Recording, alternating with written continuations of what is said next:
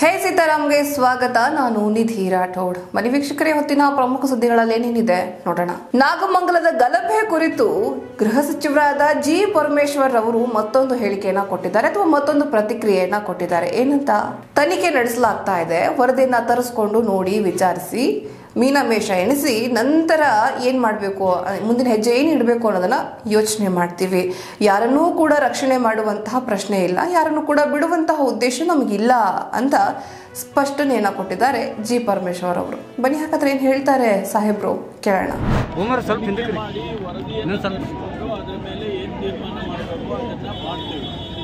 ಯಾರನ್ನು ಕೂಡ ನಾವು ರಕ್ಷಣೆ ಮಾಡುವಂಥದ್ದಿಲ್ಲ ಮತ್ತು ಅನವಶ್ಯಕವಾಗಿ ಯಾರನ್ನು ಕೂಡ ರಕ್ಷಣೆ ಮಾಡುವಂಥದ್ದು ಇಲ್ಲ ಸತ್ಯಾಂಶ ಏನಿದೆ ಅದನ್ನು ನೋಡಿ ವರದಿ ತರಿಸ್ಕೊಂಡು ಅದ್ರ ಮೇಲೆ ಕ್ರಮ ತಗೊಳ್ತೀವಿ. ಈಗಾಗಲೇ ಇಬ್ಬರು ಅಧಿಕಾರಿಗಳನ್ನು ಸಸ್ಪೆಂಡ್ ಮಾಡಿದ್ದೀವಿ suspend D Y S P ಅವರನ್ನು ಸಸ್ಪೆಂಡ್ ಮಾಡಿದ್ದೇವೆ. ಮುಂದಿನ ಕ್ರಮ ವರದಿ ಬಂದ ಮೇಲೆ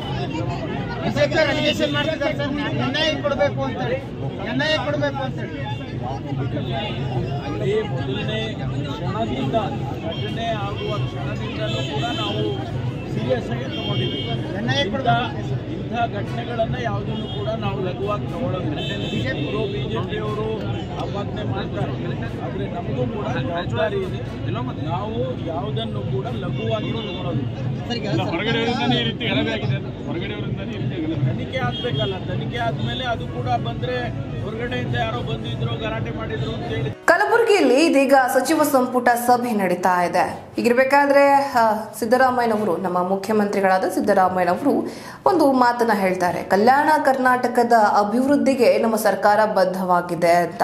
ಅಂದ್ರೆ ಈ ಬಾರಿ ಲೋಕಸಭೆ ಚುನಾವಣೆಯಲ್ಲೂ ಕೂಡ ಕಲ್ಯಾಣ ಕರ್ನಾಟಕದ ಐದು ಸ್ಥಾನಗಳನ್ನ ಗೆದ್ದುಕೊಂಡಿದೆ ಕಾಂಗ್ರೆಸ್. ಹೀಗಾಗಿ ಆ ಒಂದು ಹುರುಪಿನಲ್ಲಿದೆ ಜೊತೆಗೆ ಈ ಬಾರಿ ಸಚಿವ ಸಂಪುಟ ಸಭೆ ಕೂಡ ಅಲ್ಲೇ ನಡೀತಾ ಇರೋ ಕಾರಣದಿಂದಾಗಿ ಈ ಮಾತನ್ನ ಹೇಳಲೇಬೇಕಾಗತ್ತೆ ಹೇಳಿದ್ದಾರೆ. ಅದು ಎಷ್ಟು ಮಟ್ಟಿಗೆ ಅಭಿವೃದ್ಧಿ ಆಗುತ್ತೆ ಅನ್ನೋದನ್ನ ಕಾಲನ್ನೇ ಉತ್ತರ ಕೊಡಬೇಕು. ಬಟ್ ಇವಾಗ ಸಿದ್ದರಾಮಯ್ಯವ್ರು ಹೇಳೋ ಪ್ರಕಾರ ಕಲ್ಯಾಣ ಕರ್ನಾಟಕದ ಅಭಿವೃದ್ಧಿಗೆ ಸರ್ಕಾರ ಬದ್ಧವಾಗಿದೆಯಂತೆ ಬನ್ನಿ ಅವ್ರೇನು ಹೇಳಿದ್ದಾರೆ ನೋಡೋಣ. ವ್ಯಯಿಸಲಾಗಿದೆ ಕಲ್ಯಾಣ ಕರ್ನಾಟಕ ಭಾಗದ ಏಳು ಜಿಲ್ಲೆಗಳಲ್ಲಿ ಒಟ್ಟು ಸಾವಿರದ ನೂರು ಅರಿವು ಕೇಂದ್ರಗಳಿದ್ದು, ಇವುಗಳ ಪೈಕಿ ಸಾವಿರದ ಇಪ್ಪತ್ತೊಂದು ಗ್ರಂಥಾಲಯಗಳನ್ನು ಡಿಜಿಟಲ್ ಗ್ರಂಥಾಲಯಗಳನ್ನಾಗಿ ಮೇಲ್ದರ್ಜೆಗೇರಿಸಲಾಗಿದೆ ಸದರಿ ಅರಿವು ಕೇಂದ್ರಗಳಲ್ಲಿ ಒಟ್ಟು ಹನ್ನೆರಡು ಸಾವಿರದ ಮೂವತ್ತ್ಮೂರು ಲಕ್ಷ ಮಕ್ಕಳು ನೋಂದಣಿಯಾಗಿರುತ್ತಾರೆ. ಈ ಮೂಲಕ ಗ್ರಾಮೀಣ ವಿದ್ಯಾರ್ಥಿಗಳ ಭೌತಿಕ ಪ್ರಗತಿಗೆ ಪೂರಕವಾಗಿದೆ. ಉತ್ತಮ ಶಿಕ್ಷಣ ನೀಡುವ ಜೊತೆಗೆ ಉದ್ಯೋಗ ಉದ್ಯೋಗ ಅವಕಾಶಗಳನ್ನು ಸೃಜಿಸುವ ಉದ್ದೇಶದಿಂದ ಉದ್ಯೋಗ ಆವಿಷ್ಕಾರ ಯೋಜನೆಯನ್ನು ರೂಪಿಸಿದ್ದೇವೆ. ಇದರ ಅಡಿಯಲ್ಲಿ ಸುಮಾರು ಹತ್ತು ಕೋಟಿ ರೂಪಾಯಿ ವೆಚ್ಚದಲ್ಲಿ ಸುಮಾರು ಇಪ್ಪತ್ತೈದು ಸಾವಿರ ಮಕ್ಕಳಿಗೆ ಕಲಿಕೆ ಜೊತೆ ಕೌಶಲ್ಯ, ಶಿಡಾಕ್ ಮತ್ತು ಇಂಡಸ್ಟ್ರಿ ಲಿಂಕೇಜ್ ಶೆಲ್ ಮುಖಾಂತರ ತರಬೇತಿ ನೀಡಲಾಗುತ್ತಿದೆ. ನಿರುದ್ಯೋಗಿ ಅಭ್ಯರ್ಥಿಗಳಿಗೆ ಉದ್ಯೋಗ ಆಧಾರಿತ ಕೌಶಲ್ಯ ನೀಡಲು ಕಲಬುರಗಿ ಮತ್ತು ಕೊಪ್ಪಳದ ತಳಕಲ್ನಲ್ಲಿ ಬಹು ಕೌಶಲ್ಯ ಅಭಿವೃದ್ಧಿ ಕೇಂದ್ರ ಸ್ಥಾಪಿಸಲಾಗುತ್ತಿದ್ದು, ಮಂಡಳಿಯಿಂದ ತಲಾ ಅರವತ್ತು ಕೋಟಿ ರು ಹಣ ಮೀಸಲಿಟ್ಟಿದೆ. ಕಲಬುರಗಿಯಲ್ಲಿ ಮಾಹಿತಿ ತಂತ್ರಜ್ಞಾನ ಹಾಗೂ ಜೈವಿಕ ತಂತ್ರಜ್ಞಾನ ಇಲಾಖೆ ವತಿಯಿಂದ ಮುಖ್ಯಮಂತ್ರಿ ಸಿದ್ದರಾಮಯ್ಯನವರು ಸರ್ದಾರ್ ವಲ್ಲಭಭಾಯ್ ಪಟೇಲ್ ರವರ ಪ್ರತಿಮೆಗೆ ಮಾಲಾರ್ಪಣೆಯನ್ನ ಮಾಡಿ ಗೌರವವನ್ನ ಸಲ್ಲಿಸಿದ್ದಾರೆ. ಹಾಗಾದ್ರೆ ಎಲ್ಲಿ ಮಾಲಾರ್ಪಣೆ ಮಾಡಿದ್ರು?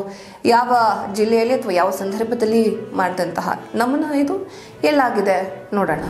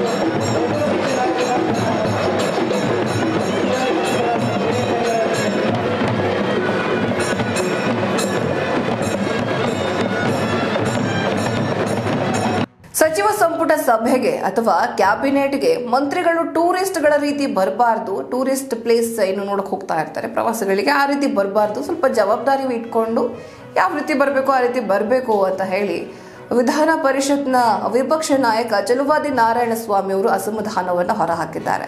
ಅವರು ಈ ರೀತಿ ಹೇಳೋದಕ್ಕೆ ಏನು ಕಾರಣ? ಯಾರನ್ನ ಆ ಥರ ಅವರು ಅಬ್ಸರ್ವ್ ಮಾಡಿದ್ರು ಅಥವಾ ಯಾರನ್ನ ಗಮನಿಸಿದ್ರು? ಯಾರ ಬಗ್ಗೆ ಅಸಮಾಧಾನವನ್ನು ಹೊರ ಹಾಕ್ತಾ ಇದ್ದಾರೆ? ನೋಡೋಣ. ನಾಳೆ ಇಲ್ಲಿ ಸಚಿವ ಸಂಪುಟ ನಡೀತದೆ ಅಂತ ಕೇಳ್ಪಟ್ಟೆ. ಏನಕ್ಕೆ ನಡಿ ಸಚಿವ ಸಂಪುಟ ನಡಿಬೇಕಿಲ್ಲಿ? ಕಲ್ಯಾಣ ಕರ್ನಾಟಕದ ಕತೆಗಳು ನಿಮಗೆ ಗೊತ್ತಿದೆಯಾ? ಸಮಸ್ಯೆಗಳು ನಿಮ್ಗೆ ಅರಿವಿದೆಯಾ? ಇತ್ತೀಚೆಗೆ ಹೆಚ್ಚು ಮಳೆ ಬಂದು ರೈತರ ಎಲ್ಲ ಬೆಳೆ ನಾಶ ಆಗಿದೆ. ಅದನ್ನು ಒಂದು ರೂಪಾಯಿ ಕೊಡಲಿಕ್ಕೆ ನಿಮ್ಮಲ್ಲಿ ಖಜಾನೆಯಲ್ಲಿ ಹಣ ಇಲ್ಲ. ದಲಿತರ ಹಣವನ್ನು ಲೂಟಿ ಮಾಡಿದ್ದೀರಿ. ಇಂಥ ಪರಿಸ್ಥಿತಿ ಇದೆ. ನೀವು ಬಂದು ಮಾಡೋವಂಥದ್ದೇನಿದೆ? ಅಂದರೆ ಕಾಂಗ್ರೆಸ್ನ ನಾಟಕ ಪ್ರಾರಂಭ ಆಗಿದೆ. ಈ ನಾಟಕ ಕಂಪನಿ ನಾಳೆ ಗುಲ್ಬರ್ಗಕ್ಕೆ ಬರ್ತಾರೆ. ಆರಾಮಾಗಿ ಇಲ್ಲಿ ಕುತ್ಕೊಳ್ತಾರೆ. ಒಂದು ಮೀಟಿಂಗ್ ಮಾಡ್ತಾರೆ. ಇಲ್ಲಿ ಎಂದೋ ಏನೋ ಒಂದು ಇಲ್ಲಿನ ಸಚಿವರು ಒಂದು ಮ- ಹೇಳ್ತಾ ಇದ್ರು, ಏನು ಕಿಸ್ಮಿಸ್ ತಿನ್ನಕ್ಕೆ ಬರ್ತೀರಾ? ಕಿಸ್ಮಿಸ್ ಅಂತ. ಭಾಳ ಸಾರಿ ಹೇಳಿದ್ರು, ಆ ಮಾತು ಕೇಳಿಸಿತ್ತು, ನನಗೆ ಜ್ಞಾಪಕ ಇದೆ. ಅಂದರೆ ಈಗ ಸಿದ್ದರಾಮಯ್ಯನವ್ರು ಕ್ಯಾಬಿನೆಟ್ ಇಲ್ಲಿ ಮಾಡ್ತಾರಲ್ಲ, ಇವರೇನು ಕಿಸ್ಮಿಸ್ ತಿನ್ನಕ ಬರೋದು ಇಲ್ಲಿ? ಇಲ್ಲ ಸಮಸ್ಯೆ ಕೇಳಕ್ಕೆ ಬರ್ತಾರ? ಇದನ್ನ ಸ್ಪಷ್ಟಪಡಿಸಿ, ಇಲ್ಲಿ ಬೇಕಾದಷ್ಟು ಸಮಸ್ಯೆಗಳಿದೆ. ಇವತ್ತು ನೋಡಿದೆ ಅಳಂದು ಒಂದೇ ಕಡೆ. ಮೂರು ಜನ ಮರಡರಾಗಿದೆ. ಕೇಳೋರಿಲ್ಲ. ಎರಡು ಹೆಣ್ಣು ಮಕ್ಕಳನ್ನು ಅತ್ಯಾಚಾರ ಮಾಡಿ ಮರಡರಾಗಿದೆ. ಇವತ್ತಿಗೆ ಎಫ್ ಐ ಆರ್ ಆಗ್ತಾ ಇಲ್ಲ. ಆಯ್ತಾ? ಬೇರೆ ಬೇರೆ ತಾಲೂಕುಗಳಲ್ಲಿ ದಲಿತರ ಮೇಲೆ ಇವತ್ತು ಅನ್ಯಾಯ ಆಗ್ತಾ ಇದೆ, ಅವರ ಮೇಲೆ ಅತ್ಯಾಚಾರಗಳು ನಡೀತಾ ಇದೆ ಬಾಯ್ಕಾಟ್ ಮಾಡ್ತಿದ್ದಾರೆ. ಇದೇ ಪಕ್ಕದ ಯಾದಗಿರಿನಲ್ಲಿ ಒಬ್ಬ ಪೊಲೀಸ್ ಇನ್ಸ್ಪೆಕ್ಟ್ರು ತೀರ್ಕೊಂಡು ಹೋಗಿದ್ದಾರೆ. ಅದು ನಿನ್ನೆ ಎರಡು ತಿಂಗಳಿಂದ ಅದರದ್ದು ಇದು ಕೂಡ ಮಾಡಿರಲಿಲ್ಲ, ರಿಪೋರ್ಟೇ ಬಂದಿರಲಿಲ್ಲ.